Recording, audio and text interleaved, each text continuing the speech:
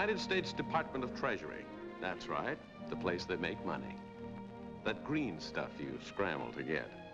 And then give back every year, so cheerfully. Yes, Treasury is money, but a lot more than that. There's a lot of other bureaus, too. For instance, Customs, Secret Service, Coast Guard, the Alcohol Tax Unit, Foreign Funds, and Narcotics. That's where I work. My name, by the way, is Barrows. And as for what Treasury does stand for besides money, I'm going to tell you a story about myself out of the files of my own department. First, I'd like you to meet my boss. He doesn't happen to be in right now. He's over at Lake Success, Long Island, home of the United Nations, where delegates are arriving for a special meeting of the World Narcotics Commission. You'll meet him here among these delegates who have come from all over the world. There he is, the one in the middle, Commissioner Harry J. Anslinger. And as for what brought these important people together, it really boils down to just a little flower. An innocent, pretty little thing, the poppy. Oh, not the kind you've seen. After this one blooms and the petals fall, the pod is ripe. When you bleed that pod, the liquid that oozes out is processed, and the finished product is opium. How deadly? Well, back in 1935, my boss said, we came to realize that the enemies of decency were using opium as a weapon to keep the world divided and its citizens slaves. And that's just what these delegates came about, to sign a treaty, to lick this world evil by standing together, the only way you can do it. Took them a long time to learn that lesson, and this is the story of how I learned it. That same year, by the way, 1935. That was the year I took over the bureau in San Francisco. It was just a routine day, and my assistant, Harry Hart, brought in a message just off the wire from Anslinger. A freighter with no name or markings had tried to make a landing along the South American coast and was being driven north. It could be another Japanese narcotic ship. She'd been spotted off Peru, Mexico, and the last time off California. Might try for landing around here to refuel. I passed the information along to Coast Guard to be on the lookout and keep me posted. Just a routine incident which was pretty much out of my mind by two days later when I started a short vacation, puttering around at my favorite hobby, my rose garden. It was Coast Guard calling. They'd spotted a freighter at early dawn and then lost her in the fog. Could be the narcotic ship we were looking for. We hunted her the rest of that day. It was almost dark and we were about ready to give up when we spotted a tramp heading out to sea. No name, no markings. Must have been hiding in one of the island coves and now was making a run for it. We signaled her to stop. She was still inside our 12-mile limit, and if she could make it, she was protected by international law. No answer to our signal, and just in case she didn't see it, she had to see that, and her answer was all the speed she had. We'd never catch her in time, but we kept after her, acting like we meant to board her and see what the bluff would do. She was well past the 12-mile limit now, but what we didn't know was the bluff was working. If we meant to stop her illegally, she couldn't run the risk of having something found on board.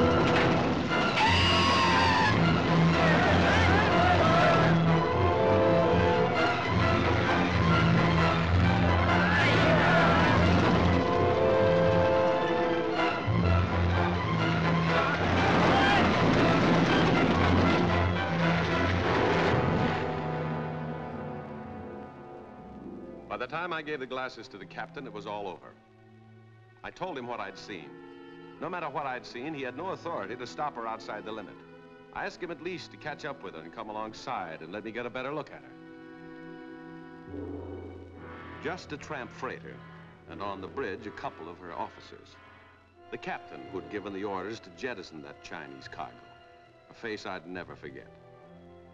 And out of the water came the only piece of evidence that said I hadn't dreamed the whole thing.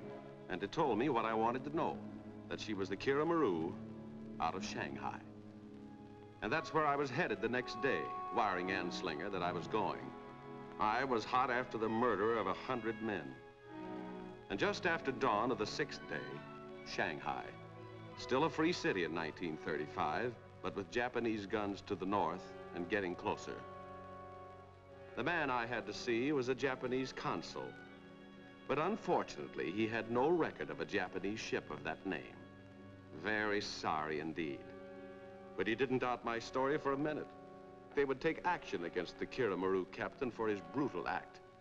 They brought him to trial, in fact, about a week later. He wasn't there to defend himself, of course, and they couldn't be sure he even existed. But they tried him and passed sentence.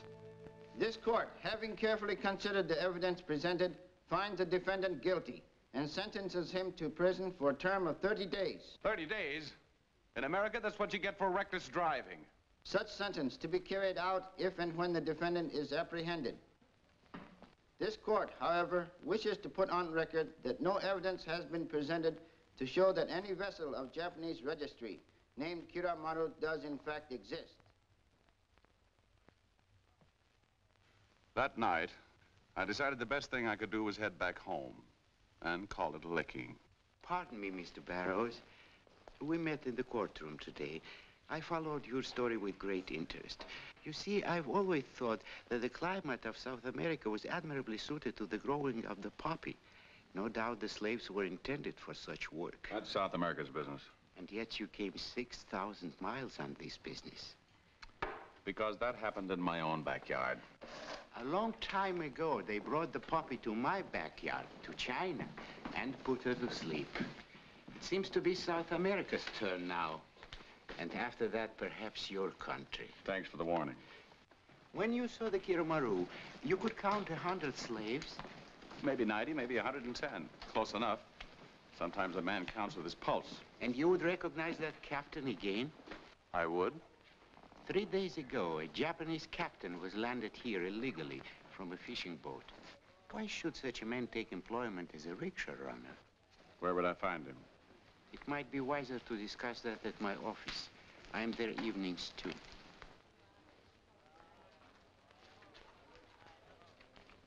Twenty-five Peacock Lane.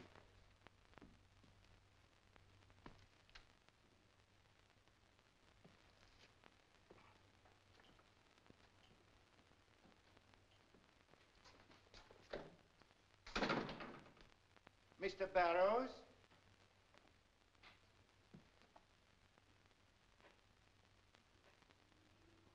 Come in, Commissioner. I would like to play a record for you. That's not what I came here for. But you'll be interested. This was recorded in Egypt. The last words of a dying man. He says he broke his chains, jumped from the ship, and swam ashore. What was the name of the ship? 船的名字是什么 Kirawan. The Kiramaru. Won't you sit down, Mr. Barrows? He says there were 200 slaves. The Kiramaru brought them to plant a poppy field in Egypt. Ask him where in Egypt. 在遗迹什么地方 Chianhaukus. Chianhaukus. He doesn't know. He keeps saying Jean Hawks. Who is Gene Hawks? 吉恩豪克斯是谁思绪暗号，也思绪男人。 It's a sign, he says, a code. Maybe a man, maybe a woman. Does he know where the opium from those poppies is to be sent? This is the part that interests me. 你知道鸦片运到什么地方去吗送到上海。 Rumor on the ship said to Shanghai for refining. Where in Shanghai? 在上海什么地方 Sorry, sir. He can't say any more. He's dying. Where did that record come from? It was made in Cairo, Egypt, about six months ago. Who was asking those questions? Hadley, the British Narcotics Commissioner in Egypt. That's official material. How did you get it?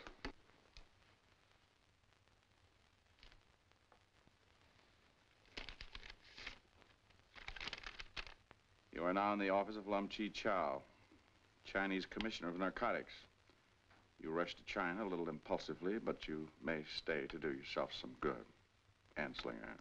That arrived for you this afternoon, after I cabled Mr. Anslinger that I would like to talk with you. Oh, glad to know you, Commissioner. Pardon me, this is Joe, a sort of handyman. Thanks, Joe. I can use that. That slave said there were 200 like him taken to Egypt. You counted 100 six months later off the American coast. Certain facts begin to come together. The 200 slaves planted that field in Egypt. Only 100 would be needed to harvest it. So once it was planted, the other 100 were loaded back on the Kiramaru, destination South America. What's that got to do with the man you were going to help me find?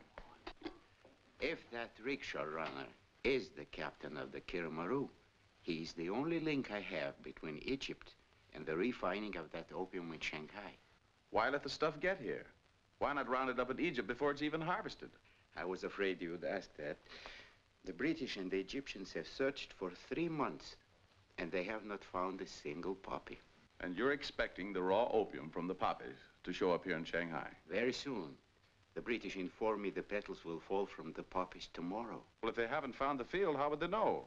Uh, by the poppies, they grow there for medicinal purposes, planted about the same time. Now, in Egypt, the harvest must be completed five days after the petals fall, or it will rot. So you see, that opium will be on its way here in five days. Oh, a poppy field that size that no one can find, a story from a dying slave. You expect me to swallow that? I swallowed a hundred Chinese going overboard in chains off the American coast. Okay, Commissioner.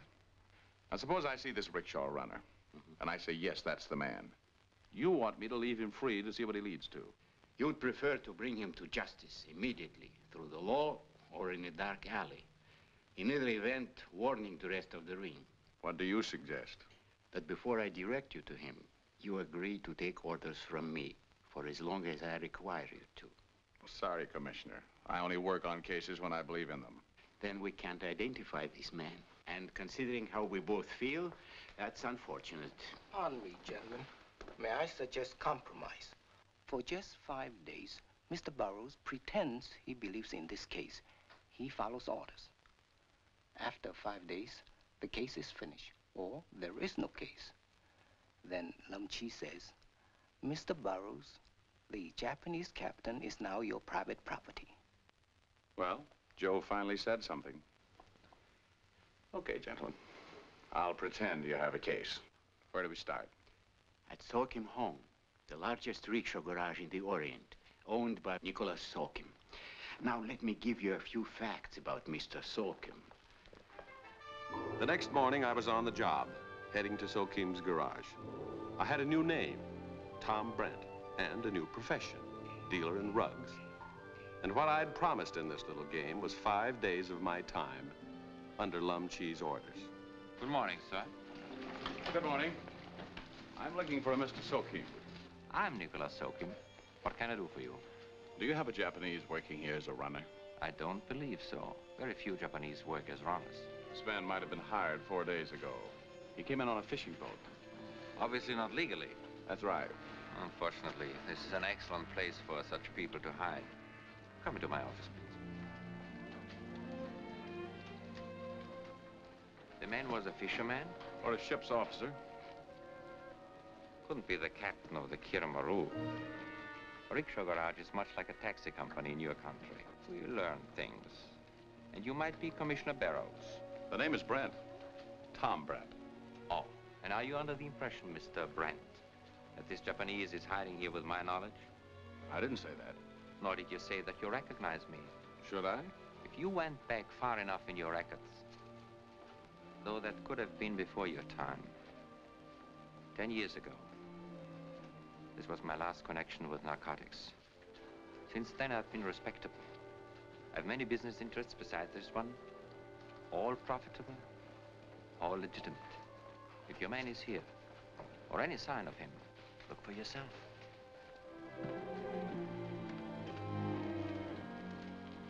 Did you see any Japanese out here? I don't think so, no. Uh, most of my runners are inside.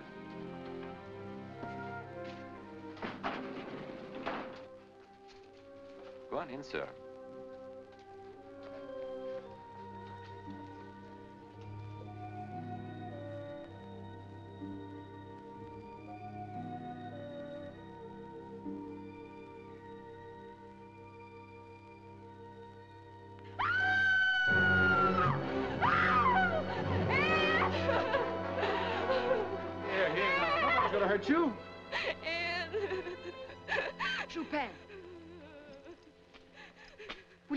Shut that door?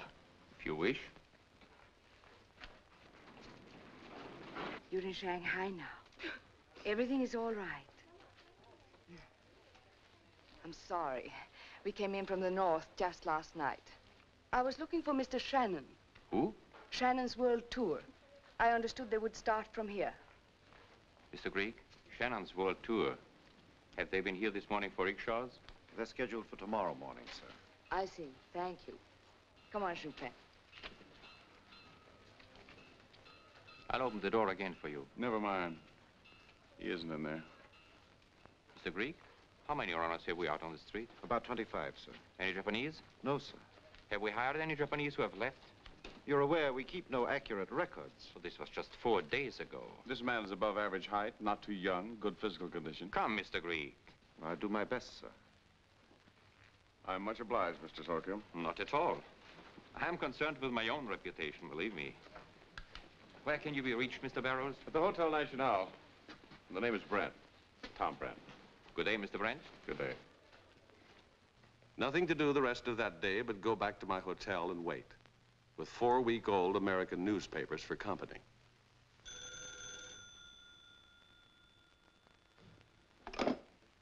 Hello? A man who worked for us just a few days this week. The other runners are certain he was Japanese. Do you know where he is now? As far as we could find out, he's living in a rooming house at 17 Barry Alley. And he goes by the name of Sago. I'm afraid that's the best I can do. I'd been watching for nearly an hour. Would I know him if I saw him? A face I'd seen once in bad light for just a few seconds.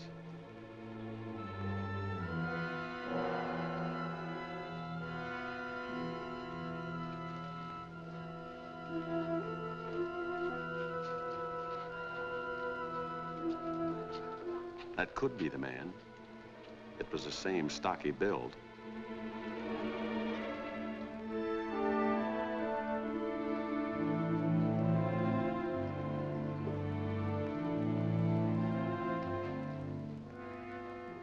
Mr. Shannon is expecting me of the Shannon World Tour. What is his room number, please? 506. I could almost swear that was the man.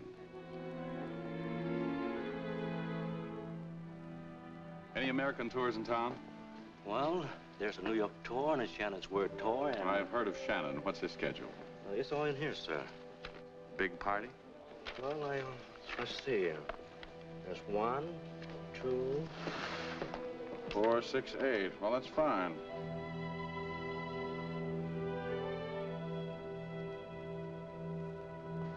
Thank you. You're welcome, sir.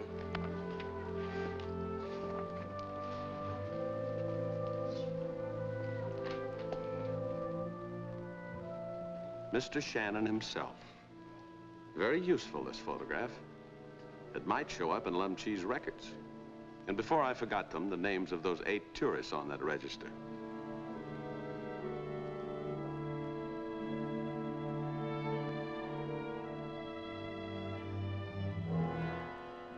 Just 10 minutes later, he was back down. That didn't take long. Evidently, he and Mr. Shannon knew their own minds.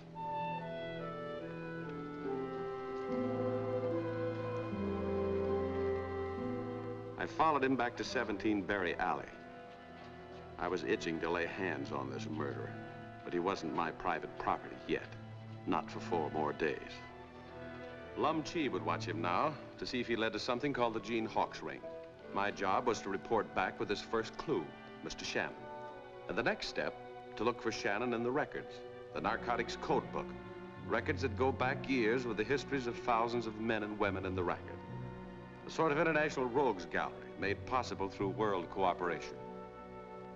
After nearly an hour of searching and comparing, there he was.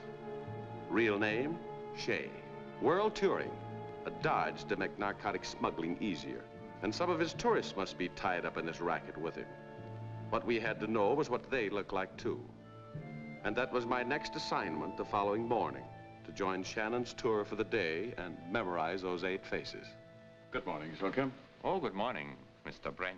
I want to thank you for yesterday. You went to a lot of trouble for me. I hope you found the Japanese. No, he wasn't there. I'm sorry to hear that. Well, you did your best. I uh, guess I'll be heading home tomorrow. Might as well spend my last day seeing the sights of Shanghai. I'll have Mr. Grieg personally conduct you. Uh, the blonde is much prettier than Mr. Grieg, don't you think? Oh. Oh, I understand. Sokim, I'm Shannon. How do you do? My party's ready. I'll have the rickshaws back by 5 o'clock. So, Mr. Shannon, my name is Brent, Tom Brent. Oriental Rugs is my business. I'm on the loose today. Wonder if I might tag along. This is a private tour. Well, Mr. Brent is a rather good friend of mine. I'd appreciate your helping him. Very well, I'll get another rickshaw. Much obliged. I saw that man ten years ago. A narcotic smuggler then. His real name is Shea. Really? As I recall, rather a bad man to fool with. Very impulsive and dangerous. Thanks, okay. This is my day off.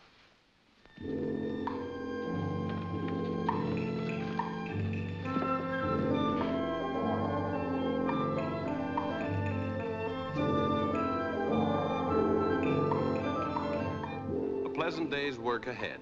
A tour of Shanghai and a chat with my companions as we went along. This was Edward Clark, Twin Lakes, Ohio, furniture business. Anna Harrison, school teacher from Fall River, Massachusetts. Harry Weber, Allentown, Pennsylvania, and Mrs. Weber. Mrs. Mary Payne, librarian, Racine, Kansas. Jay Martin, automobile dealer, Pittsburgh. Herbert Ribbons, retired, Albany, North Carolina. Louis Lawrence, Boston, restaurant owner. That was all eight of them, a face for every name, to be checked later in the code book. And at the Willow Pattern Tea House, a stop for refreshments, my first chance at those two I'd met yesterday who were not on the list, but were definitely with the tour. Rather crowded in here. Isn't that a Rosa chinensis? You see, I go in for roses. The name is Tom Brent. I travel for a rug firm. Hello. She seems all right today. Just what was the matter with her yesterday? Chopin speaks English. Oh, I'm sorry. I didn't know. Oh, that's quite all right. As a matter of fact, we think it's good to discuss it. The Japanese captured Chopin's village and took her family away in boxcars. Seeing that sliding door yesterday and the coolies there in the dark kind of upset her. Oh, I see. Chopin. That's a nice name. I think I'll just call you Princess. I didn't get your name. It's Anne Grant. It's Anne Grant. How do you do, Miss Grant? Mrs. Grant. Mrs. Grant. Oh, this is a nice tour, isn't it, Mrs. Grant? You going all the way to the States, Princess? Yes, to my new home, Where's that? San Francisco. Well, what do you know? That's my hometown. Have you ever been there, Mrs. Grant? Yes, I have. I think you're both very lucky to be going to San Francisco. Mrs. Grant isn't going to San Francisco. Oh, and you're going all the way to the States alone? Not alone. With Mr. Shannon's tour and all these nice people. And you're staying in China? Yes, she is. Yes, I am. Chopin, dear? The well-known brush-off. Interesting and a little mysterious, this Mrs. Grant.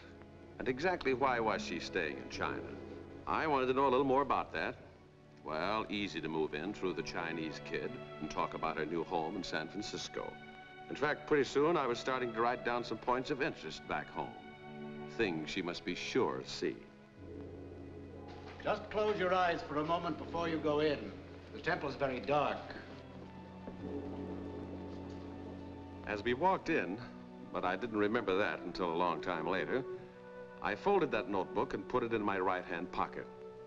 All I was thinking about at the time was Mrs. Grant, finding it hard to believe that this good-looking gal was mixed up in the narcotics racket. All in all, it had been a very pleasant experience there in the dark. But as we left that room, what I didn't know was that the notebook was no longer in my right-hand pocket. I didn't miss it then. I hadn't missed it yet when Shannon called it a day and the tourists were heading to the hotel. So it didn't seem like anything out of the way that the wheel of my rickshaw was broken and that Shannon should offer to walk me back to the hotel, showing me the way. By the way, something you lost this afternoon. It is yours, isn't it? Yeah, thanks. What'd you say your business was again? Rugs. Oriental rugs. Funny. Now, how did I get the idea you were a census taker? I have no idea. Might be from your habit of writing down names in notebooks. What did you want those names for? Talk fast, mister. Who are you? Before you get tough, Mr. Shea, listen. You've been in before. This time you'll do five years unless you talk. About what? The Kiramaru. What's that, a chop suey joint? No. Slave ship. I don't know what you're talking about. But I know who you are. And I'm not gonna let you pin a five-year stretch on me.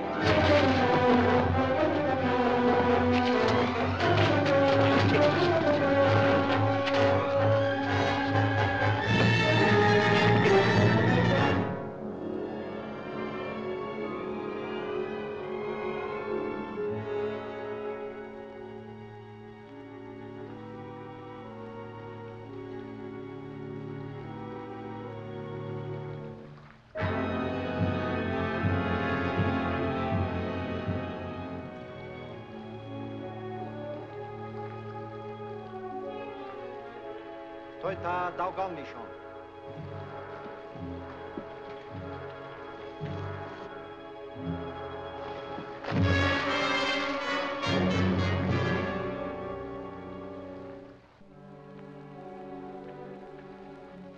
See, when Shannon shanghaied you, we shanghaied Shannon.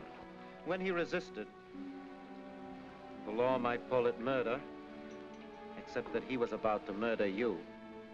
Mr. Sokim tried to warn you about Shannon.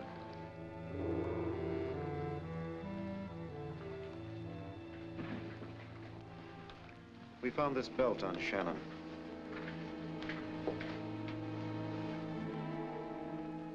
Unrefined opium, isn't it, sir? Yeah. Did you know he had it on him? Not until after he was dead. But we knew he had it somewhere. How? He called on Mr. Sokim to refine it about an hour before the tour started. What happened? Mr. Sokim told him he was no longer in the business. Then what? Shannon didn't believe him. He said if Mr. Sokim was afraid that this shipment was perfectly safe, straight off a Japanese boat. What boat? He didn't say. Did he say where it was grown? In the Near East. Egypt? He did mention Egypt. Did he say where in Egypt? No, sir. Just Egypt. Grieg had a car waiting, and I asked him to take me to my friends at 25 Peacock Lane.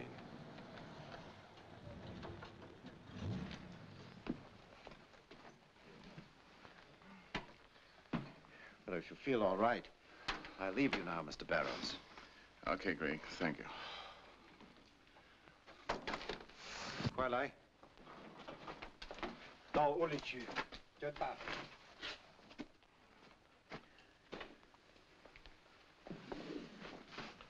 poi Godot.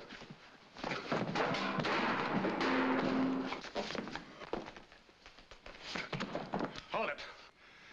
This is the end of an interesting tour, Lum. Get up, Greg. I want to talk to you. Help him up, Joe. Listen to this. I tangled with Shannon this afternoon. It was not cold. Woke up miles away crossing a stream. Shannon was there, too, only he was dead. Mr. Grieg, under Sokim's orders, saved my life.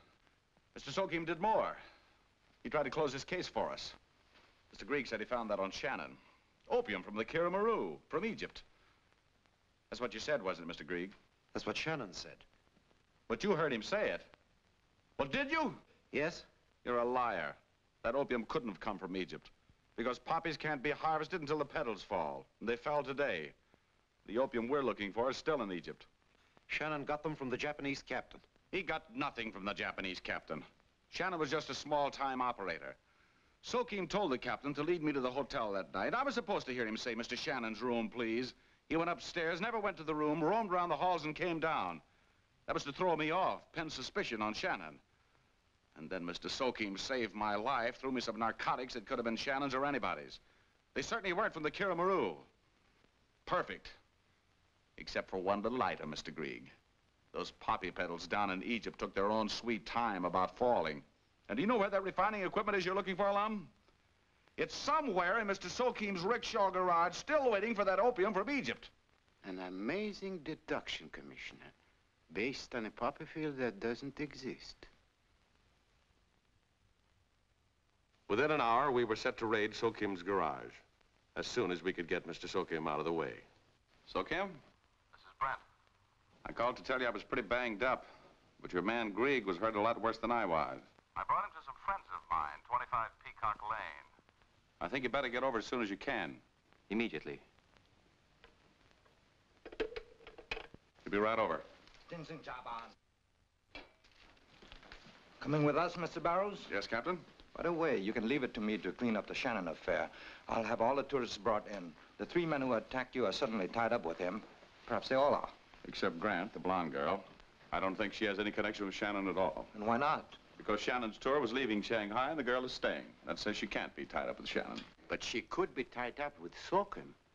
Where did you first see her? Not at the hotel, not with the tourists, but at Sokim's. Now, under orders from Sokim, she joins the tour, just to bring about what happened to you last night. After that, her job is to stay in Shanghai, to wait for those narcotics coming from Egypt. You believe all that, Commissioner? Maybe not. By the way, you said your notebook was taken while you were in the temple. Was the Grant girl with you? Yes. And you were writing something in it for the child before you went in. So the blonde lady must have seen it. Just thought. Joe, when Mr. Sokim arrives, you will know how to entertain him.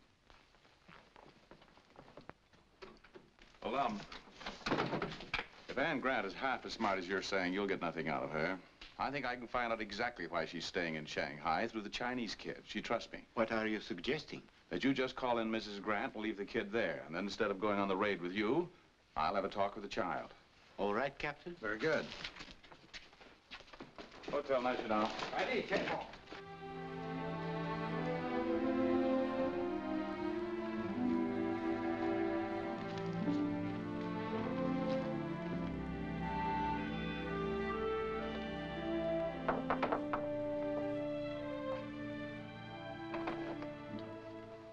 Good morning, Princess.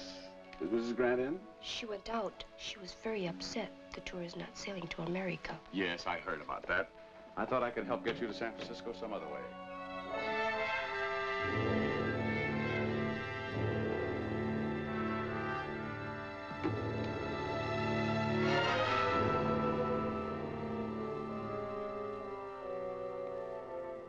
Won't you sit down, Mr. Silkin? I bet you two have known each other a long time. Just a year. Just a year. Oh. Back home in, uh, Pan Yin. She was my governess. Well, no wonder you feel the way you do about her. Everyone did. What do you mean, Princess? I mean, when the bombs fell and so many were killed, so many children without parents and homes, it, Here, here. Let's not think about that anymore. What are you reading? Day of Human Beginnings. that's what we call the New Year. No, I should have known about that. Because in San Francisco, the Chinese New Year's a big thing. Do they have the dance of the dragon, too? Sure. Your dragon isn't very fierce, though. Oh, it isn't, it? I don't imagine it is. No, as fierce as yours is. How fierce? Well, it's... Show me. I would if I had something I could use for a dragon. You could use this. Yeah, I... I suppose I could. Well, don't we have to have coins wrapped up in colored paper for the children? And presents for the grown-ups who aren't married? That means you get one, but Mrs. Grant doesn't because she's married. There, uh, is a Mr. Grant, isn't there? He died in Pan Yin. Oh, that's too bad. I suppose Mr. Grant was a teacher, or a missionary, maybe. No, an engineer. An engineer. He worked near Pan Yin. And that's where they met. Oh, no, they were married in America. Well, there are your coins. Happy New Year. Kuna now, Happy New Year. Kunin, uh, Happy New Year. Well, here I go.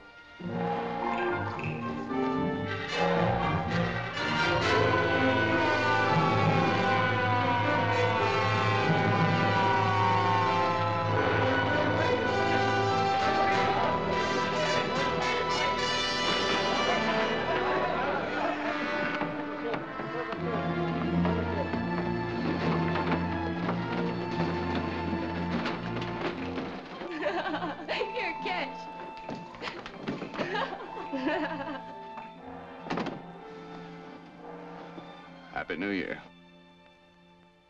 That's a San Francisco dragon. Is that what it is? Chupan, would you run down to the desk and see if there's any mail, please? Yes, of course. What are you doing here? Weren't you called at the station about Shannon? Yes, I was. But they sent me back for my papers. Well, I was called, too. They couldn't hold me because I wasn't booked with the tour. They're holding both of us for questioning. They are, huh? I don't mind about myself. But we can't take Chupan into that police station. And they can't keep her in Shanghai. Well, I have a little influence here. I'll see what I can do. I'm a lot more grateful than I can tell you, Mr. Brent. I was pretty rude yesterday. Look, uh, suppose I could clear you both. How about two tickets on the Clipper? One for you. That's very kind, but I'm not going to America. I just thought to take the kid back. After that, naturally, you'd want to go home. America is my home. No? I married an American and lived there for many years. Well, if America really is your home, why not go back? You've been gone quite a while. It's out of the question. It isn't a matter of money for the trip. You just want to stay in China. That's right. Well, I guess you have your reasons. They must be pretty important. You give that a very peculiar tone, Mr. Brent. Sorry. I guess I'd better see what I can do about Chupan's release. I really am sorry. And I am very grateful. Look, uh, we might get together after Chupan leaves. That is, if you're going to stay in Shanghai. Perhaps a week or so.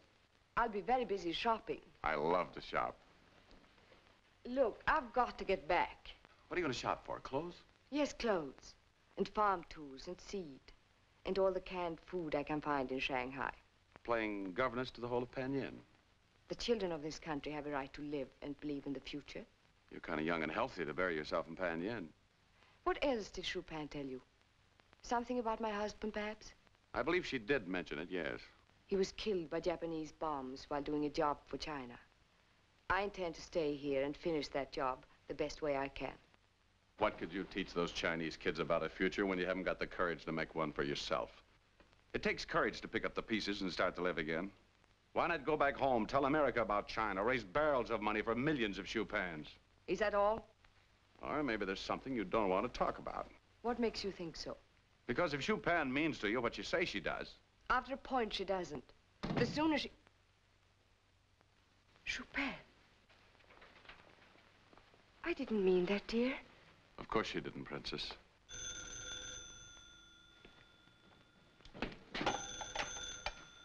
Yes? It's rather important that you come to Sokim's garage, Mr. Brent. That is, if you have finished. I'll be right over. It's the people who sent for you. While I'm there, I'll try to make those arrangements. Everything's going to be all right, Princess.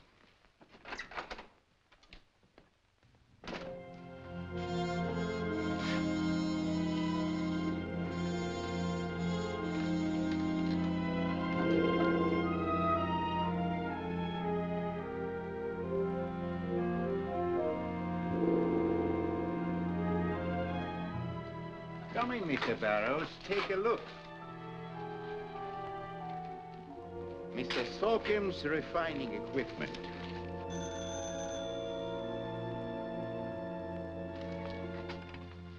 Hello? Just a moment.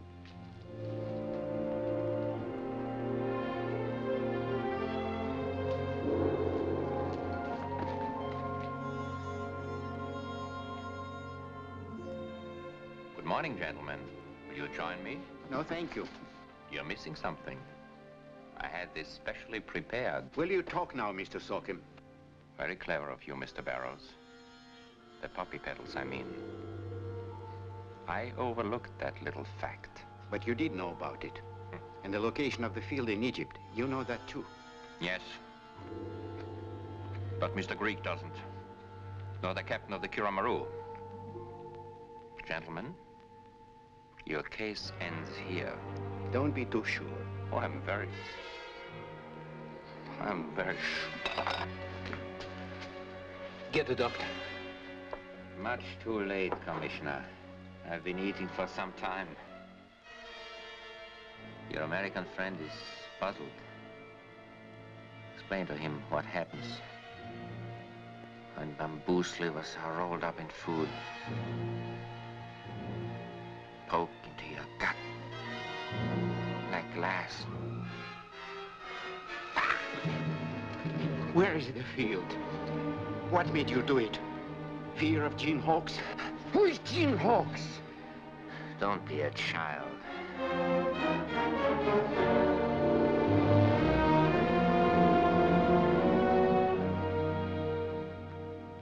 We should never have moved in on Sokim. We should have waited until all the stuff from Egypt was in that garage. I'm afraid we had to move in. Once you knocked Mr. Grieg down, there was little else we could do. That's right. If we'd held him, or if we'd let him go, Sokim had to know within an hour. I made a bad mistake there. Oh, in my time, I've made a few myself, Commissioner. Death by bamboo slivers. Cruel method, isn't it? The act of a fanatic. A fanatic who was also afraid. But afraid of what? Enough to kill himself. Well, what else do we know? Those of us in narcotics here are certain that for years there has been an organization here in China operating in drugs, organized by the Japanese government and paid by them. When I was in Manchuria in 1931, I saw there such an organization spreading narcotics to the people. Why? Drugs eat away their will to resist, making conquest that much easier. An excellent military strategy, isn't it? The people in this organization, not all Japanese by any means. No, these are citizens of every nation in the world. Fanatical Sokims who believe in conquest. And degenerates who can be bought to do this filthy work for the Japanese High Command. That is Gene Hawks, Commissioner, which explains Sokim's death. The price for failure. An organization that perhaps reaches around the world with collaborators even in Egypt, which explains how a poppy field can be so wonderfully hidden and a hundred Chinese taken across the Atlantic. That makes sense, Lum. If so, then we also know this. Sokim's suicide has warned them. They'll change their plans. Those narcotics will never come here for refining. Nothing much we can do to stop it now. Unless they come on some trace of the field in Egypt. I'm sending Sokim's papers to Cairo immediately. Commissioner Hadley may find something in them that ties in with what he knows there. A bare possibility. Can you get them there in time? The poppy petals fell yesterday. If we say five days to harvest, that leaves three days after today. The papers can be flown to Cairo in two days and nights in one of our Air Force planes. Leaving just one day after they get there. Not much time, huh? Hmm. That's why I thought if someone from here were to go with them, someone who has had your experiences and mine on this case. Too strenuous a trip for me, I'm afraid. I hoped you would go, Commissioner. I don't see how I can, Lum. I know it was my blunder that finished this job here, but it's finished. I can't take it on myself to go to Egypt. Not on a bare possibility. I'm sorry. So am I. As a matter of fact, I should be making some sort of arrangements about going home. I, I think I better go back to the hotel now and see what I can do about it. Before I leave, I'll, I'll see that you get a report on my talk with Mrs. Grant. I'll appreciate it.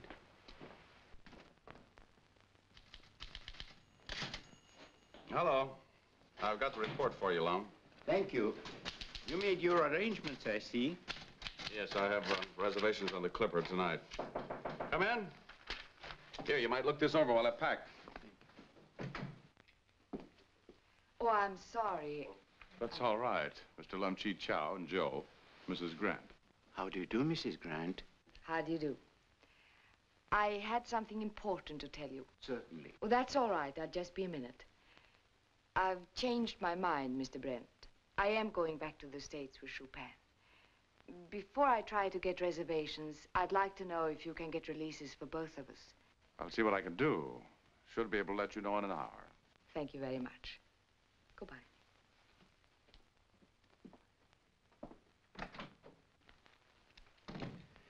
Definitely staying in China. We agreed that after Sokim's death, there would be a change of plans. Except that what I said to her this morning may have made the difference. It's all in the report. There are some things your report may not contain, Commissioner. I have Mrs. Grant's passport, which the police are holding. An American passport. Yes, she was married to an American. You'll find that covered, too. But not this, perhaps. She did not arrive here directly from America. For a year and a half before coming to China, she was in Egypt. The visas and dates leave no doubt of it.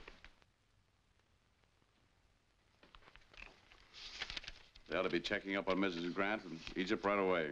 I sent a cable to Cairo an hour ago. This release she wants. Why not? If she's tied up in this, why not let her go and follow her? She'll be watched from the minute she gets to San Francisco. I agree. Of course, digging up something in Egypt is the main hope.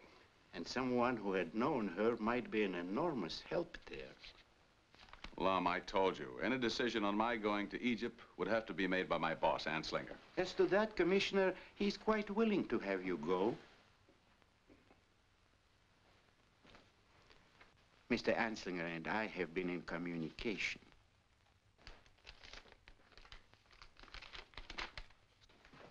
Sokim's papers, and I thought you could use the sun helmet for Egypt. Farther and farther from my rose garden in San Francisco, doing myself some good, as Anslinger had said, which is what I wrote him about. If he meant getting educated at a rate that was making me dizzy, I hoped he was the same. Regards. And on the last day left for the harvesting of those poppies, if our timetable was correct, Cairo, where I was met by the Egyptian Commissioner of Narcotics, Amr Hassam, and the British Narcotics Commissioner, Lionel Hadley. And all I'd brought for them was a Shanghai experience and a lot of reading matter, that box full of Sokim's papers. We hurried from the airfield to narcotics headquarters in Cairo. Not a trace yet of that poppy field, and only hours left of this last day.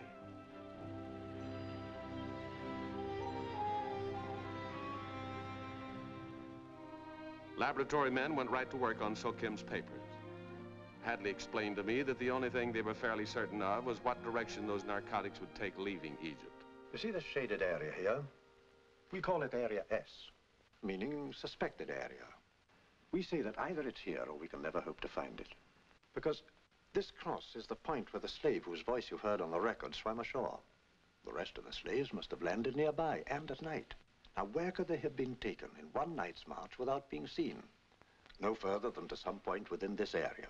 If so, the most logical way out of Egypt with those narcotics would be across the Suez Canal. And the nearest crossing of the canal is here. Your real hope is the Suez crossing. Exactly. And in the last four days there? We haven't caught anything. Unfortunately, there are a few tricks we still have to learn about. Then your only chance is the last of the harvest when it goes through tonight. Pretty slim one if they've been succeeding for four days. Here's the report on Anne Grant, Commissioner. She and her husband, Jerome Grant, entered Egypt at Alexandria September 20th, 1933. Stopped at Windsor Hotel four weeks. Moved on from there October 15th to Cairo. Stayed at Shepheard's Hotel approximately eight weeks, then left on tour. No record of them for more than 10 months, no forwarding addresses. They just dropped out of sight. Commissioner, Professor Salim found something you should see. These seven letters from a Mr. William Adams. No address given. Business letters referring to a consignment of goods to one of Sokim's enterprises. What about them? The handwriting. Yes, Arabic. Looks like plain English to me. I mean the man who wrote them first learned to write in Arabic. I know because I did too. We examined the paper itself. It was made in France. Well, then Mr. William Adams could hardly have written from Egypt. French-made paper isn't sold here.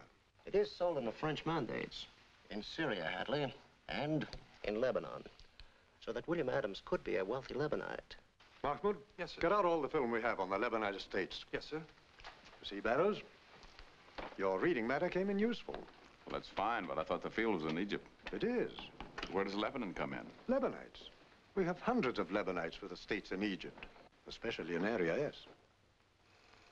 Estate of Ali Yusuf, 10 miles northwest from Bir Tawahe.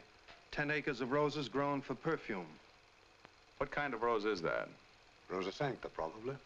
That's the rose the pharaohs grew. You a rose fancier, Barrows? I certainly am. In fact, I'd like to get a cutting of that Rosa Sancta to take back home with me. The estate of Suleiman Jafar Pasha, all in maize, 20 miles south of the landing place. Look like maize to you, Barrows. Yes, it does. Estate of Tufik Ahmed Pasha, growing mostly cotton. Here we are in the uplands, Barrows. How do they get the water up there? It's piped over from the Nile and then drawn up by pumps. It's a bit of engineering. How did the pharaohs do it? Well, The water was carried up by slaves. Estate of Binda Shah, on the north edge of the Baidea Plateau. 30 acres and roses for perfume. Artificial irrigation again. Yes, a very modern job was done up there about two years ago. Estate of Hassan Ali, 25 acres of cotton. Amar, you wouldn't remember that engineer's name. What engineer? Who did the job at Binda Shah's? No. He wasn't American, was he? I have no idea. Well, that's that. I don't know what we expected to find. We've been over that film a dozen times. Cheer up, Barrows. Perhaps what we all need is a drink. Good idea, Adler. How far is this estate of Binda Shah's? About three hours by car. Why? I'd like to borrow a car and go after a specimen of that rose. Binda Shah would never let you in. It's strictly against Muslim law for men to enter. Some of those places we had to photograph from the air. Why couldn't I climb one of these cliffs? Are you serious? Why not? Even if you didn't break your neck getting up there, the servants would break it for you when you got to the top. It'll be dark when I get there. Three hours by car to the cliffs behind Binda Shah's estate. And nothing could dissuade Amar and Hadley from making that climb with me. They knew it was more than a rose I was after, and these were the last desperate minutes of the last day. They were ready to follow even this wild hunch of mine, a hunch about an engineering job, possibly done by a man named Grant.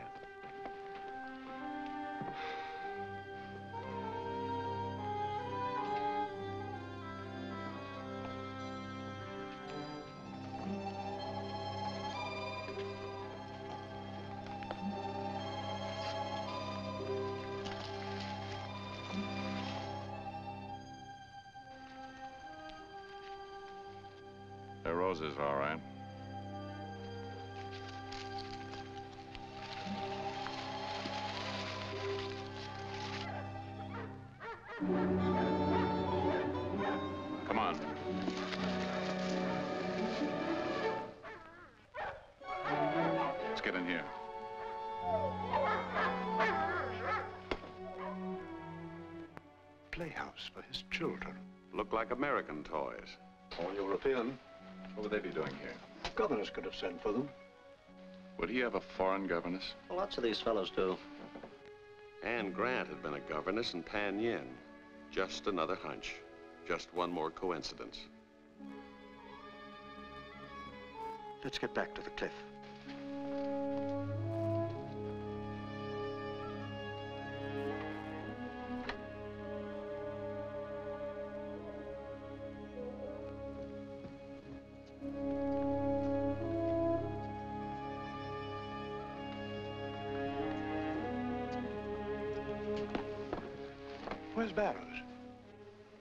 Had to take a look at that irrigated soil.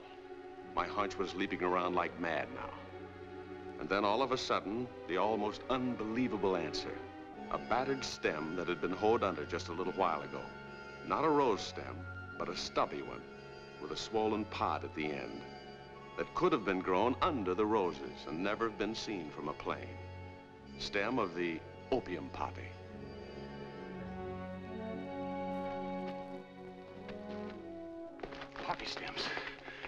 growing them under the rose bushes. Now we know exactly where it's coming from. How it might be going through. In perfume jars or cartons of rose petals. I should be at the Suez Crossing. Tell my men what to look for. Suppose the last of the harvest is still up there. While he goes to the crossing, I'm going back in there to find out. I'll go with you. I should be at the Suez Crossing in half an hour. I'll send some men right back here to watch for you. They'll be waiting on the beach. Good idea. Better take this. You better take these. Good luck. See you at the Suez. We inched our way back over Binda Shah's estate, taking us more than an hour. Near the barns, we came on the last of a fire of what looked like leaves and twigs. Actually, it was the fire that burned the evidence, the poppy stems that had been gathered after the harvest. Finally, the barn that held the entire secret.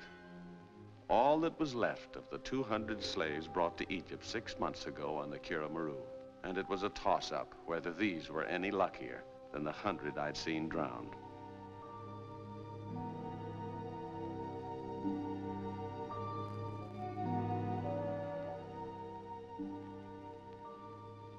Were the hands that had harvested the poppies. You could tell that from the stained index finger. That's how the harvesting is done. First with these little knives, making a slit in the pod. A gummy substance oozes out, and this is what the index finger scoops up. After that, scraping it off the finger into these little harvesting cups. From those cups into a vat of boiling water where leaves and twigs and other foreign matter float to the surface and are skimmed off. This fire died just a few hours ago. The amber liquid had cooled into a hard, tar-like substance, which was then pounded with these mallets into a million little pieces. Looks like the stuff is gone, Hadley.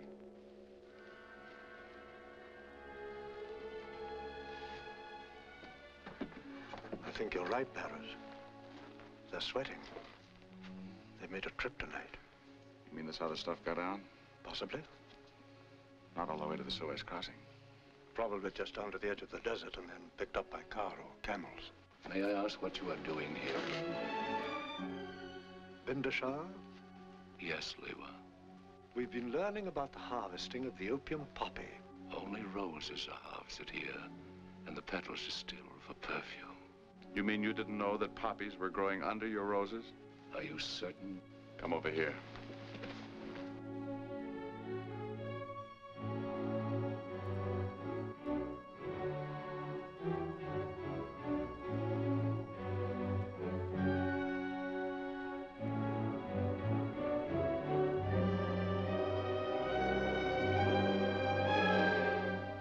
What's this? A poppy stem. And you are welcome to it, Lewa. Because the opium from those poppies left here an hour ago. For the Suez crossing. Isn't that so? Then after the Suez crossing, where was it going? To Al Huna.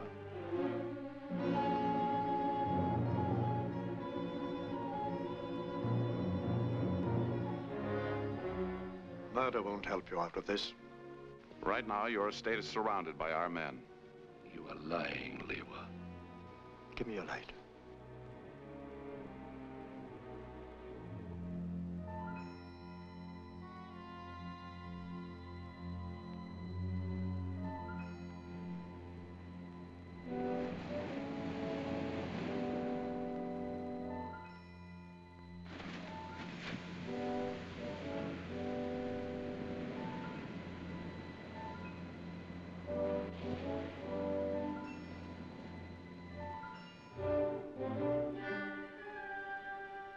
Best thing you can do is to tell us where those narcotics are going. I've completely forgotten. You're coming with us. Order your men to put down their guns. Atufka ala ard. Now send them back to their quarters.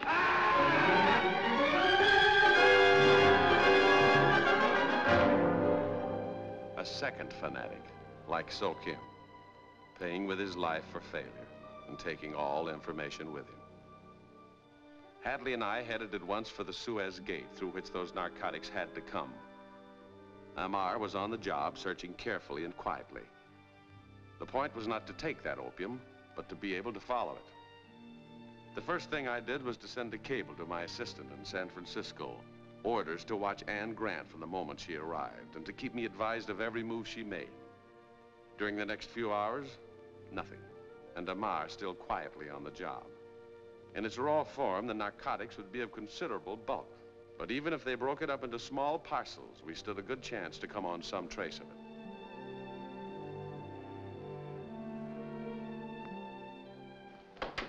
Camel driver going to Beirut in French Lebanon. Taking another herd there three days ago. Three days ago? That's a long trip. Well, that's the point. The only way he could have made it was to move with his camels day and night, and then race back here by car. What did he say? Said he was taking them to a Beirut slaughterhouse. They needed camels there and had just raised their price for them. Was he carrying anything? Not a thing. Searched him and everything on his camels. Not a thing. It was nearly dawn, and nothing yet, when Amar's men arrived from Binda Shah's, where they'd stayed to search for anything that seemed important. Binda Shah's private papers yielded nothing, but out of the pump house came an interesting item. an engineer's logbook. Recognize her, Barrows? Mrs. Grant herself. I could have been asking her the right questions in Shanghai. There's a lot I'd like to say to her now. Remember that camel driver? He was lying. I got in touch with Beirut. No slaughterhouse there is paying more for camels. But you searched him. He wasn't carrying anything. No, he wasn't. Still, all we have to show for the night is a camel driver who lied. That's right. Mama, you know about camels. Tell us things. What things? What do they sell them for? The hair and hide. The hair for brushes and clothes. But what about the camel himself? Well, I could give you the textbook recital. The camel, a prehistoric animal with a miserable disposition, has four stomachs, sleeps with its legs folded under it. Its lifespan is about... Just a minute. Suppose we catch up with that camel herd and check on Amar's facts. If Barrows can have a hunch, so can I. Within an hour, we were headed for the port of Beirut, the first step in Hadley's plan of action. He had phoned ahead to the commissioner of narcotics in French Lebanon, Lorisier, who met us at the airport. According to instructions, there were two cars waiting. One of them a light truck, which carried certain equipment Hadley had asked for. We headed back in the direction from which we had come, taking the caravan trail, for the purpose of intercepting that camel driver, timing our ride of more than 200 miles to come on him late that night. We figured that camel driver would be traveling fast, and it was likely he would make camp that night at the oasis of Birasini. That's what we counted on.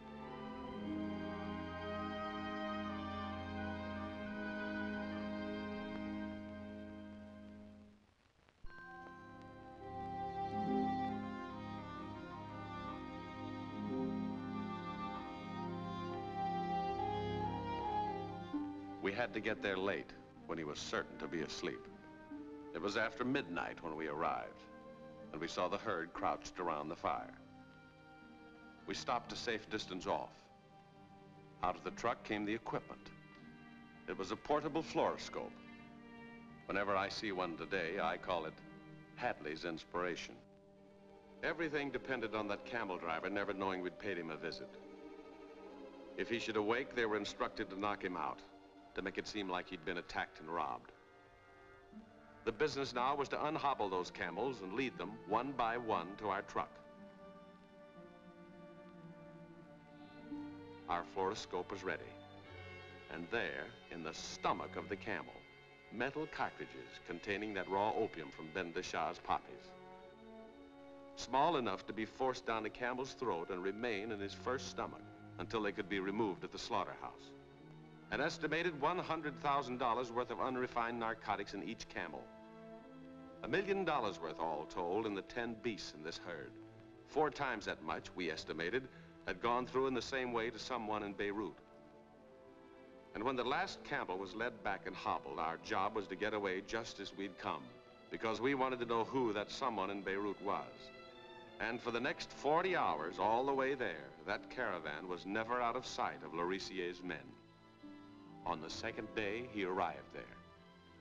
And then we knew that the next link in the Gene Hawks chain was the slaughterhouse owned by a man named Agassiz.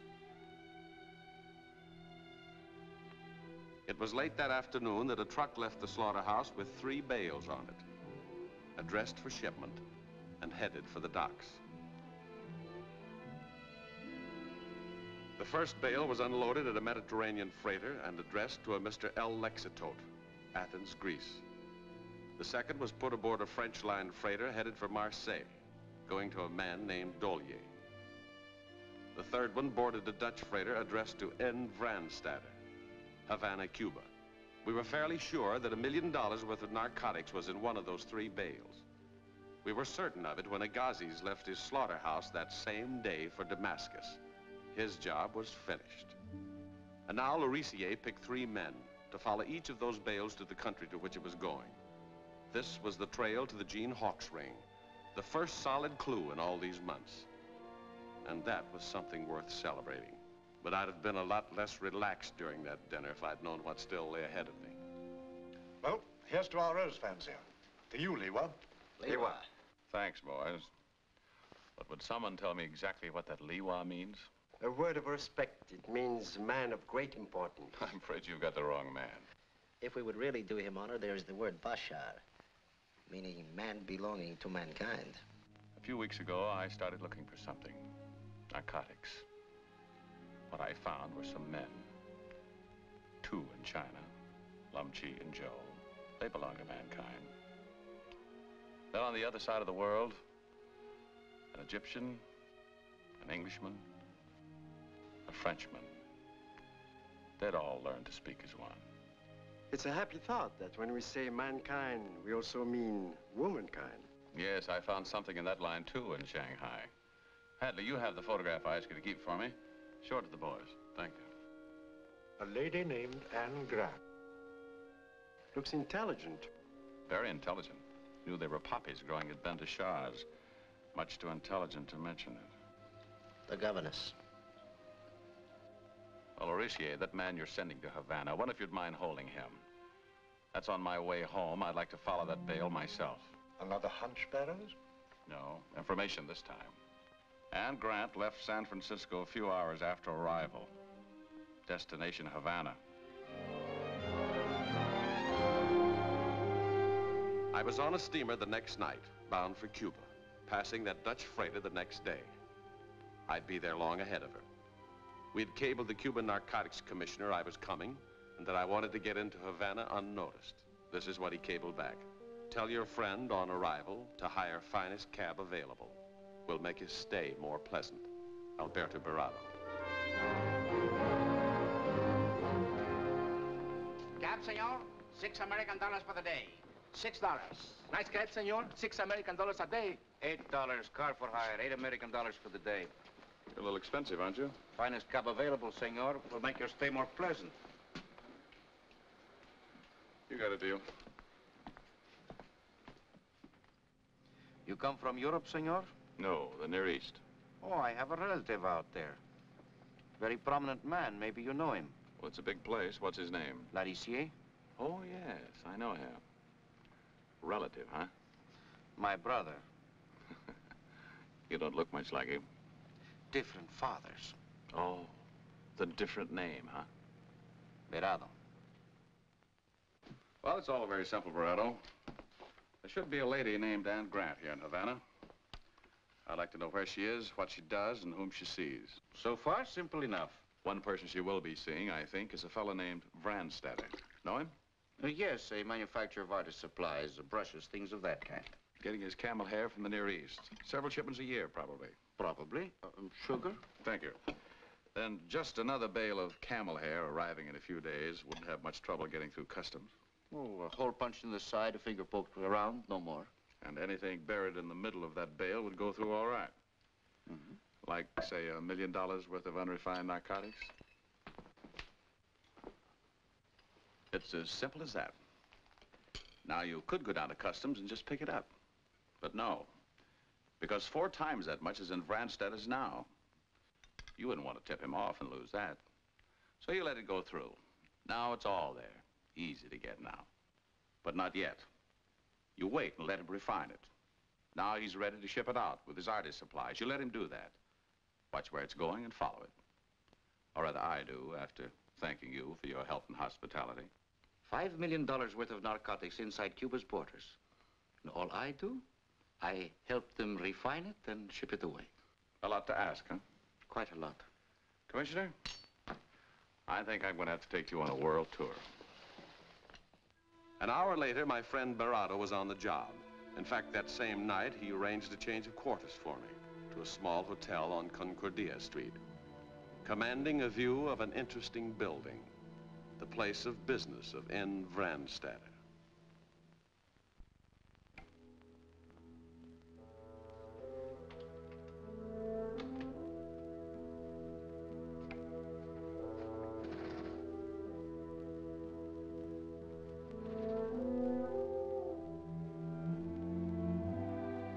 Certain lady was in Havana.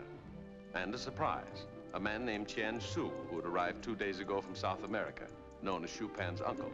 And it was none other than Mr. N. Vrandstatter who was showing them the city. A pleasant little party with nothing to do until a certain Dutch freighter arrived from the Near East, which was two days later. And the progress of that bale through customs was exactly as Barado had predicted. A finger poked around inside, no more.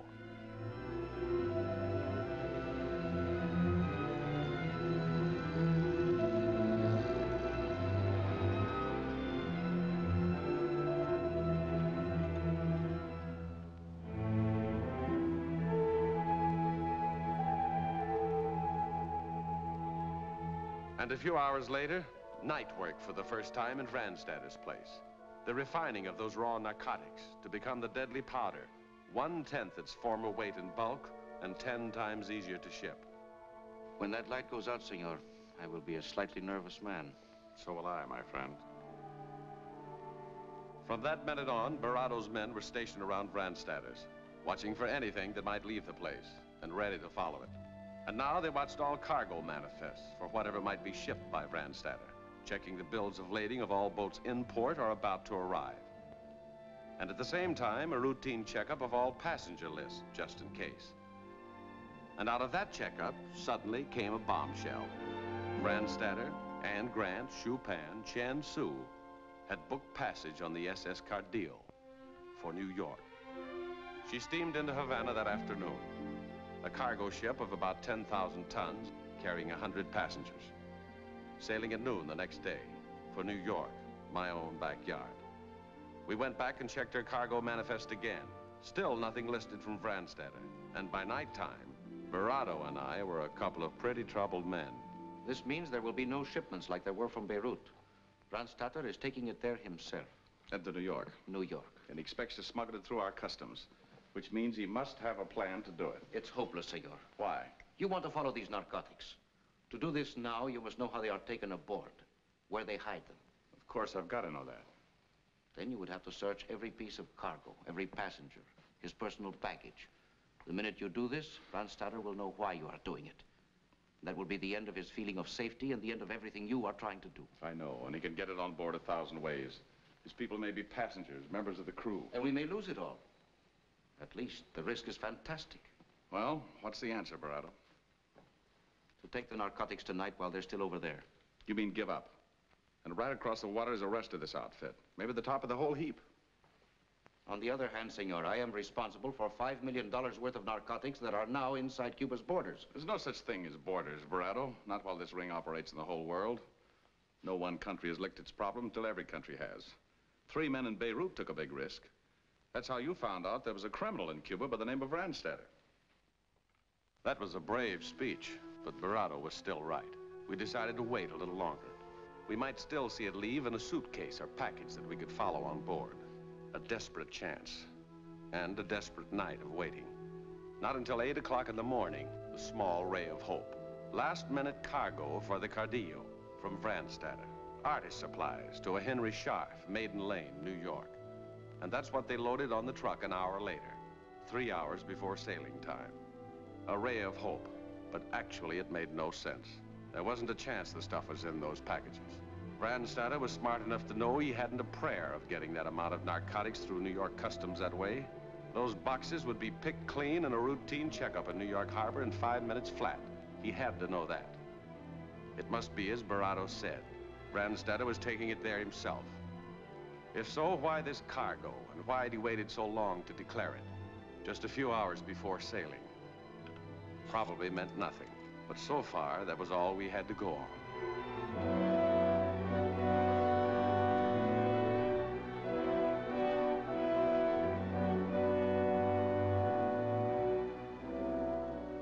The fellow in the warehouse lookout reported the obvious. The packages had been turned over to customs. Well, Barado's men would have to follow it on board and see where it was stowed, then travel with it to New York.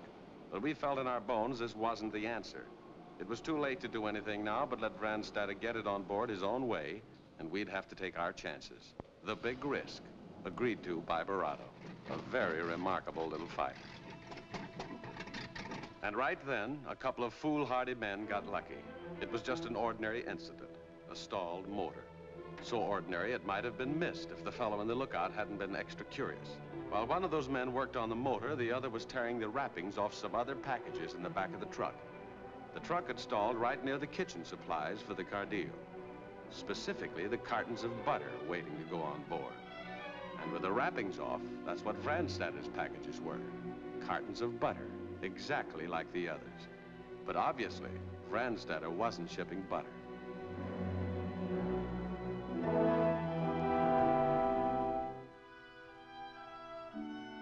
Within a half hour, we were at the dock. And minutes later, those food stores were going aboard. No mystery now why Vrandstatter had waited that late to bring his cargo to the dock. That butter couldn't stand in the warehouse as much as an hour because it was perishable. So Vrandstatter had to wait until exactly the right time. And obviously, he had to have someone on board the Cardillo who knew the schedule.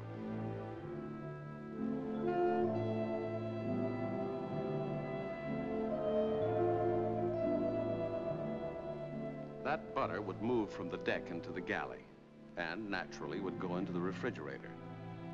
And that's where Vrandstatter's man, or men, would have to be when those cartons arrived. A big responsibility for that man. Because three of those cartons held $5 million worth of narcotics. And his job was to be able to tell which ones they were.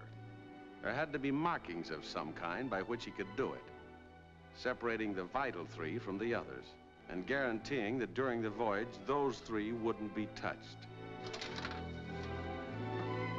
An hour before sailing, and our friends were coming aboard. The meaning of those three cartons and what would happen to them as we entered New York Harbor, that was Vrandstatter's secret. And that's what I had to find out by the time we got there.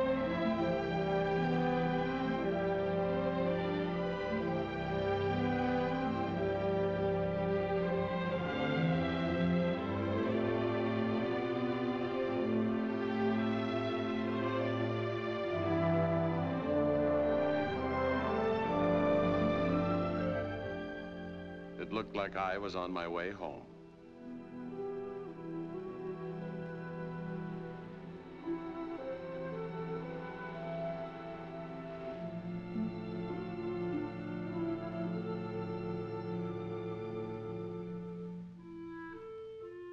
According to plan, there would be a vacant cabin on deck C, cabin C-22. And the man waiting for me there would be the steward of this corridor, Barado's man. Hernando? Yes, Commissioner. Glad to know you. An hour later, in the galley, Hernando had his night watch on the job. It was the night baker, an old friend of his. Not a narcotics agent, but a fighter for decent causes from way back. And by morning, Hernando had his day shift organized. One of these men was the ship's butcher. The other was an assistant chef.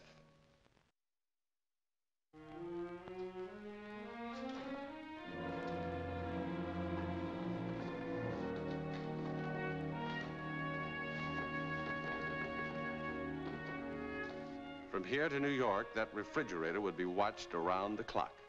And that same morning, Hernando had the ship's chart for me, all marked. On deck C, the ship's kitchen and the refrigerator. Here I was, and she and Sue here. The cabin next to me and the outside one across from me, also vacant. On deck B, Vrandstatter's cabin, and the one shared by Ann Grant and Chupan. As for Mr. Vrandstatter, reports said he was quite socialite. By lunchtime, he'd made the acquaintance of half the passengers, perhaps checking on them, but he couldn't imagine that he was anything but completely safe. At mid-afternoon of that first day, I sent a message in code to Anslinger. Everything was under control. Ask him to send some of our men aboard with the pilot in New York Harbor. Yes, Signor Vrandstatter. There are a few empty cabins in this corridor. So the purser said. Anyone will do so long as the plumbing works. I do insist on plumbing that works. That one is an inside cabin, Senor. The outside ones are here. Oh? Still, that one is empty too. It should not be locked. I can get the key from the purser if you care to see it. This one will do very well. If you see that my baggage is brought, please. I checked his story, Senor. The plumbing was really out of order. If it was deliberately tampered with, it was very skillfully done. Thanks, Hernando. Good night. Why didn't he take one of those vacant cabins on his deck? Because the only outside cabin left was down here? Possible. But more likely, he had tampered with that plumbing in order to check every vacant cabin on board. Well, if so, now he knew this vacant cabin was locked. The next thing he'd have to know was why.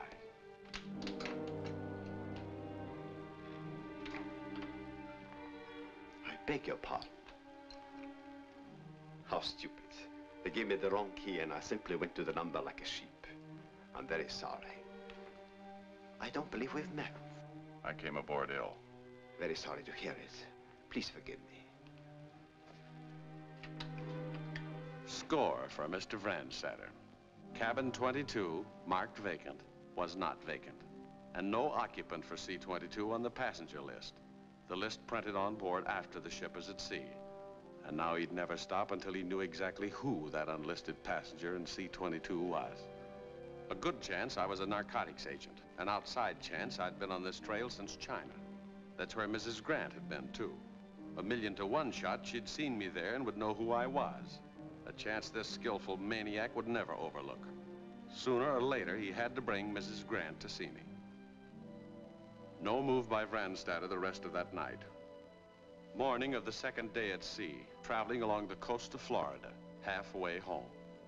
And in the galley, nothing but cartons of butter had come out of that refrigerator. The narcotics were still in there.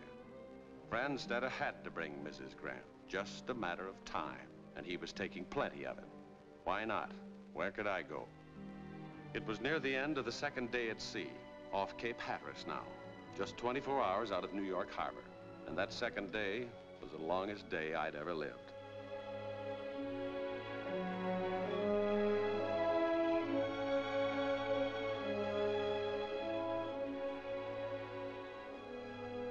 It was the last night of the voyage.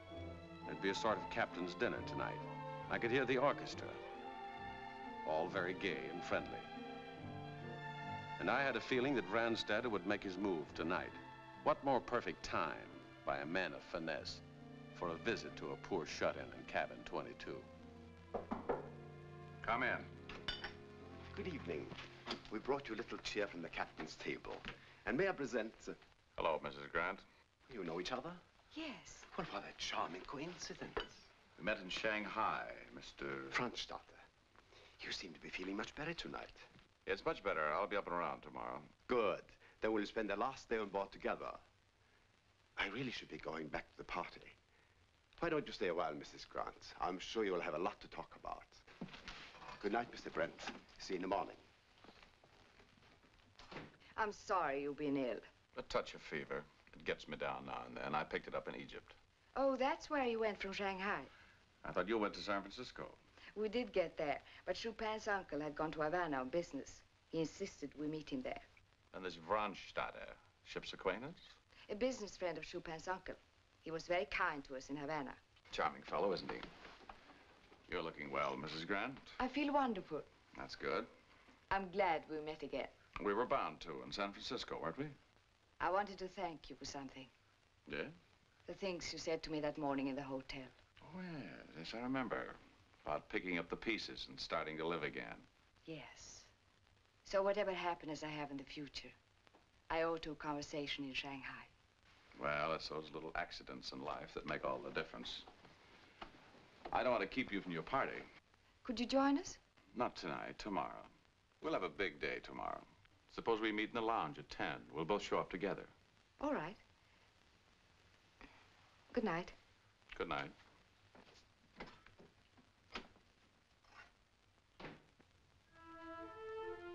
Doubly careful watch in the galley. From now until New York late tomorrow. Morning.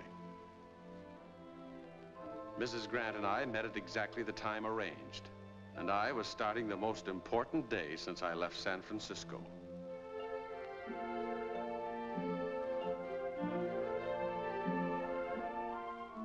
And as the morning wore on, a friendly little group, chatting away, carefree and happy. And at lunchtime, still inseparable. Chupan gave me the sketch to keep. The artist had said there were lines of suffering in that face. There'd be a few more when she found out they'd palmed off a phony blood relation on her. And from the galley, no move to touch those cartons. And nothing reported by mid-afternoon, less than three hours from New York. And up in the lounge, warm friends by this time, and reading each other's minds like open books. But nothing was worrying Vrandstatter or Anne Grant. The passing of time, the closeness to New York. Like they didn't know the name was Barrows, not Brent. Like it wasn't up to them to make a move in that galley within a couple of hours. I couldn't understand it. Close to five now. Less than an hour to picking up the pilot in New York Harbor. What if those three cartons down there were just decoys? What if Vrandstatter had known who I was long before I got to Havana and had set me on this false trail while he got the narcotics on board some other way? This panic of mine was growing every minute. We'll be taking on the harbor pilot soon. Maybe we should break this up. Oh, not yet. We have plenty of time. Another glass, Mr. Brent, to our continued friendship.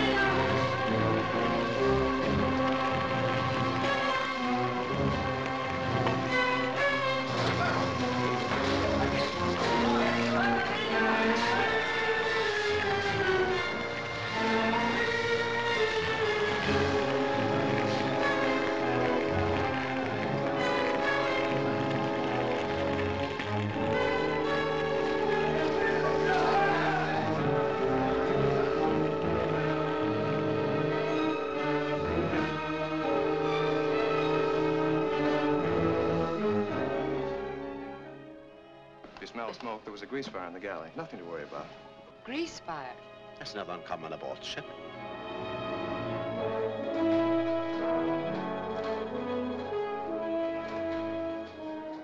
Incidentally, I know some excellent place to eat. Why don't we all have dinner tonight ashore? Oh, could you? Yes, Princess, I think I could.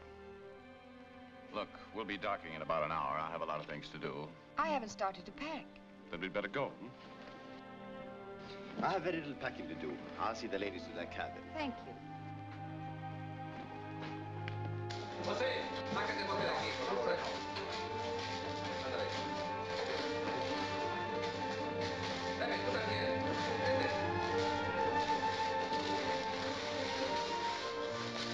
Look at the gulls. They follow the ship in waiting for garbage. Let's go and watch.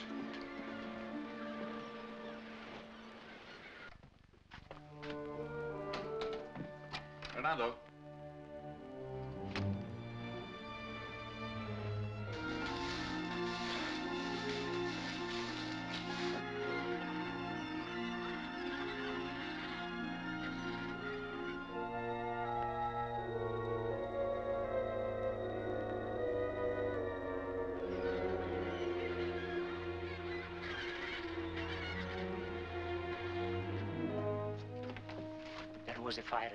I know. Anything happened to the boxes? They are empty. It was taken out during the fire. Where did it go? What about our men down there? There was so much smoke they could not see.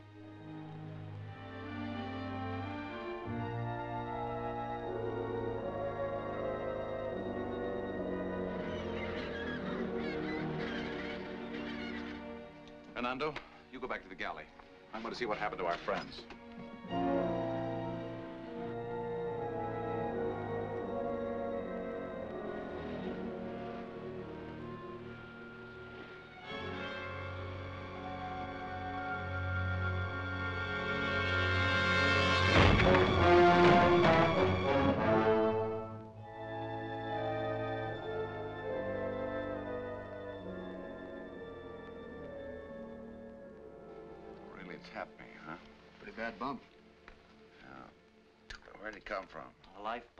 Lifeboat. Was stowing gear in it.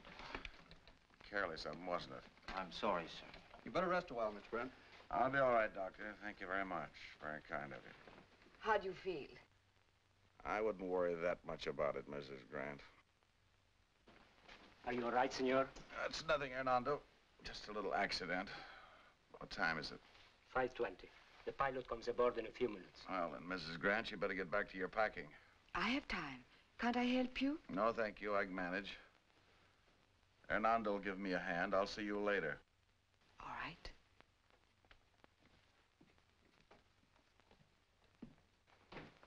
Just as I was going back on deck. An accident? No, I wasn't wanted up there. Why? What about the galley? No trace of it. You say the pilot's coming aboard, huh? And the men from the Bureau. Oh, fine. I got a lot to tell them. The staged fire and the stuff is gone. The lady dropped a rose petal. It's a lovely touch, isn't it? Now, let me think. 5.20. I left her in the lounge 20 minutes ago and she was going to pack. How did she get down here? How did she hear about it? I heard it when I started back from the galley. It was suddenly all over the ship. That it was me? Somebody said the American who came on board ill. No, the American. I came on. Hernando, look. These are finger marks, aren't they? Yes, it looks like grease. Grease. She was undoing my collar. With grease on her fingers, she couldn't have been packing. Maybe she never got back to her cabin. This Rose was healthy enough about 20 minutes ago up in the lounge. She couldn't have been here for over five minutes. Where was she the other 15 minutes before that? Hernando, I'm going back up on deck. You meet the men when they come aboard. Send one to watch Vrandstatter's cabin and the Chinese uncles. Tell the rest to go to the galley. Close the place off and start searching the crew's quarters. Bunks, lockers. Tear the place apart. I'll be down the galley myself in 10 minutes.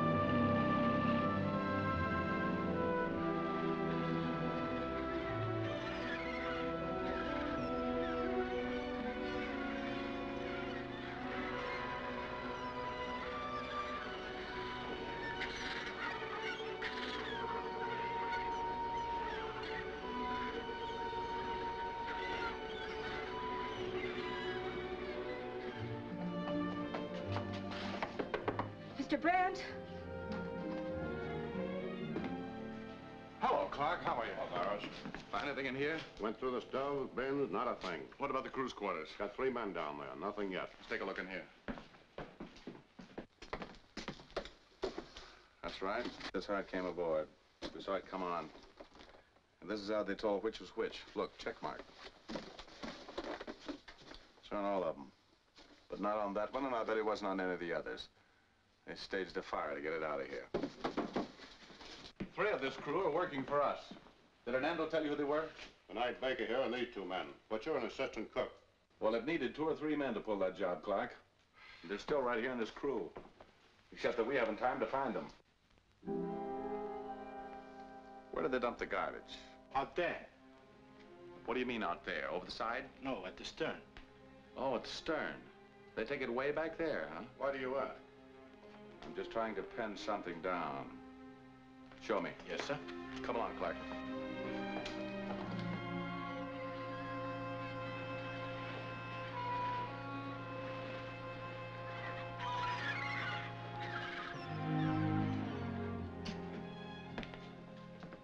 What time was that garbage dumped? Exactly what time? Was it before the fire or after the fire? Somebody ought to know that. It was before. You sure? Yes. Before the fire, huh? No, I don't think so. No te metas en lo que no te importa. Ya no me levante la voz, eh? Grease fire, huh? Where did it start? Back here by the stove? Right there.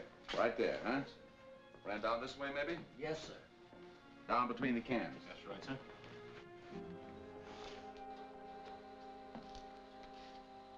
Fire didn't get over there, huh? No. Look, Clark. The fire started back there by the stove, came down between these two cans. Look at them. That can is scorched. The other one isn't. There's the other scorched can over there. Which means the garbage was dumped after the fire and the cans didn't get back to the same places. And he says it was before the fire. He's lying, and he knows he's lying. Why? I'm not sure, but I've got a hunch. It's a wild one, and I've only a little time to prove it. Wait here for me.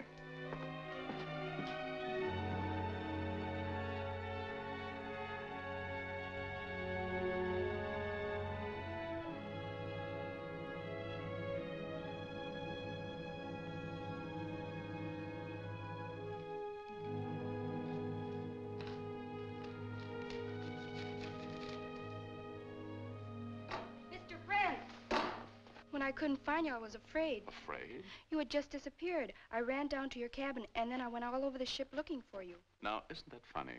I was just going to call you and ask you to do something for me. It's kind of a secret. I'll put it to you this way. Do you think Anne likes me a little?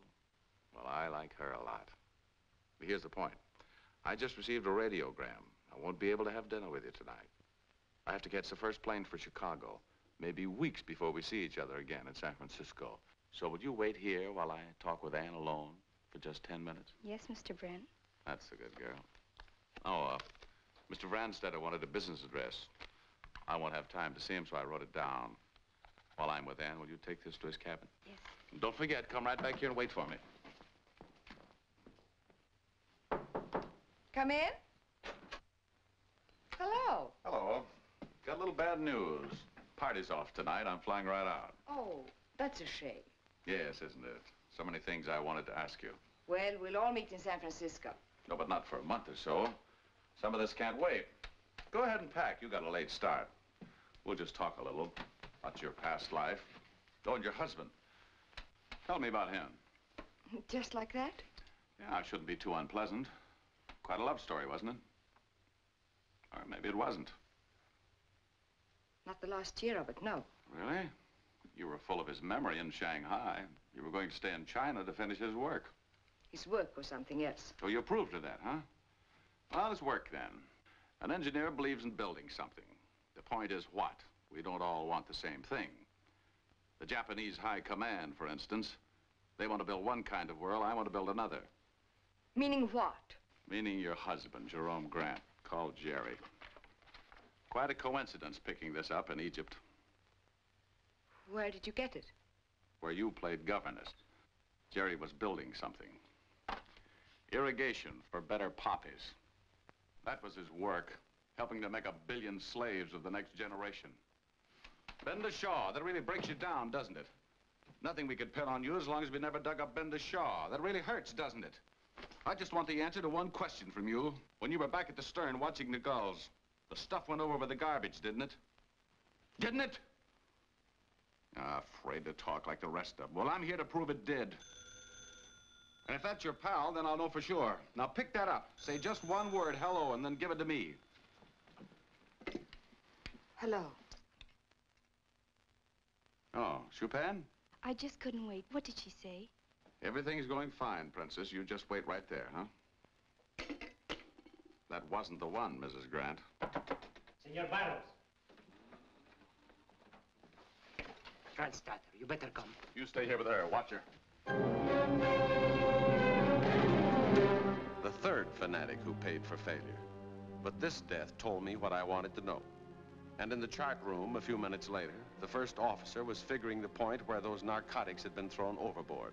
Knowing the time it happened, and knowing his course and the speed of the ship, he could pin down within a mile the spot where that stuff must be riding at anchor on ocean bottom. We could guess now what had happened. That stuff must be anchored on ropes that had been chemically treated, wearing away gradually in salt water, with buoys attached. And when those ropes broke, it would rise fast to the surface, and the Gene Hawks ring would be waiting for it. I had put in a call to Coast Guard, and now I asked them for boats to meet the Cardio on the way in, as fast as they could get to us. Inside of an hour, they were there to take us off. That phony Chinese uncle was under guard in his cabin, but I wanted to take Anne Grant along with me. She wouldn't be separated from Chupan, so we let her have it her way.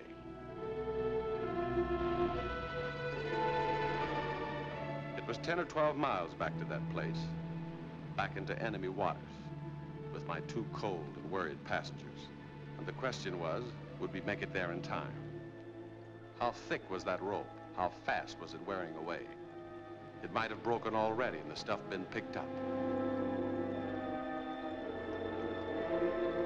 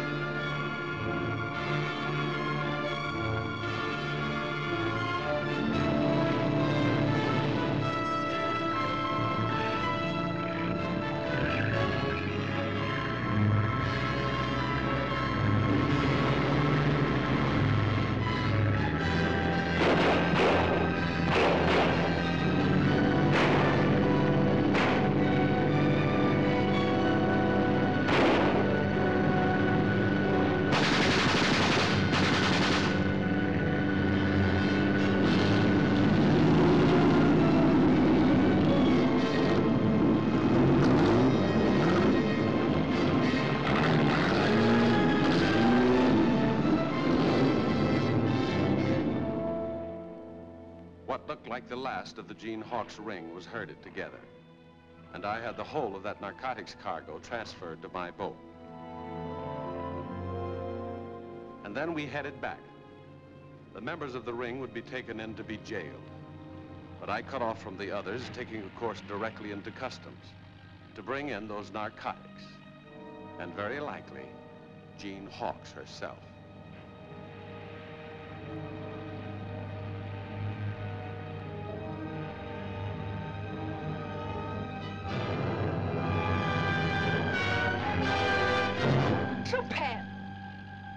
Get back. What's the idea, Princess? Put that gun down. Make for a point a mile above Conover Beacon. She's out of her mind. Did you hear what I said? Head for shore, a mile above Conover Beacon. Never heard of Gene Hawkes, Mrs. Grant? Jean Hawkes? The name that took those narcotics around the world ever since North China. Never heard of it? No. Amazing. Could be our baby-faced princess. Nearly 20 years old. A Chinese girl for the honor and glory of Japan. My father is Attorney General of occupied Manchuria. The tree was bent young, wasn't it? Tell him to go faster. The lady says speed up. Well, what are you going to do? Get this stuff ashore, huh? Where the rest of your gang is waiting. And to make sure you get away, you'd have to kill the four people on this boat. That's insane. Gene Hawkes would do that without batting an eye. And you had no idea, Mrs. Grant. Didn't know who I was or what happened at Binda Shah's until I told you. Didn't know your husband was hired by Japan to grow narcotics. And that you've been chaperoning Gene Hawkes ever since Pan Yen. You, the respectable widow of an American killed by Japanese bombs. Didn't know that, huh? Or maybe that isn't how he died at all. Maybe he knew too much. And wasn't a fanatic he should have been. He wasn't quite. You murdered him. No, you did. With notions of helping China and asking questions. He was told to get rid of you. But couldn't bring himself to do it, huh? Still had a little feeling for his wife. That weakness licked him, didn't it? That's the weakness that licked me, too. The feeling I had for a frightened, helpless little girl. I was a sucker for that, wasn't I? Your side trades in that kind of thing. Decent human feeling. No use for it yourself, except to fake it. But I've been learning fast, Princess, and I learned that lesson just in time. In fact, I had an idea who you were when you got in this boat. You see, after the accident happened, Mrs. Grant was standing by my bed. But not the warm little girl who loved me so much. Where was she? At the stern, watching gulls, I found out a little later. She must have heard about it the same time Mrs. Grant did. What made her so late in coming to find me? That's where I began to learn. I thought back to how a notebook could have been taken out of my pocket in the temple back in Shanghai. And those lines of suffering in that artist's sketch of a young girl could be the madness of a grown woman. I wasn't sure yet about you or Mrs. Grant.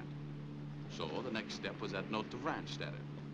When he didn't call Mrs. Grant and killed himself, that could mean that you opened the note on the way, told Vrandstatter he'd failed, and that his services were no longer required. See what I mean, Princess? You can't fake real feelings. Not for long. They're the exclusive property of real human beings.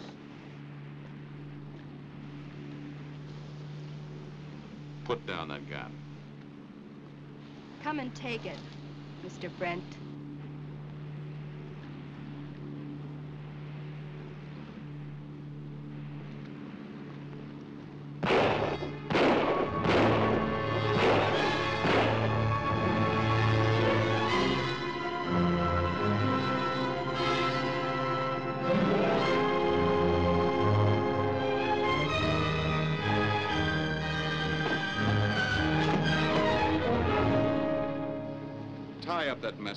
Garbage. Notify Coast Guard. A mile above Conover Beacon. That'll be the end of this trail. That was the end of that trail. And the beginnings, you might say, of a fellow named Michael Barrows, narcotics agent. Or as my boss just said today, 12 years later, by this time, I hope, we have learned the deeper lesson that no boundaries between peoples are as important as the simple, common, lasting bond of belonging to the human race.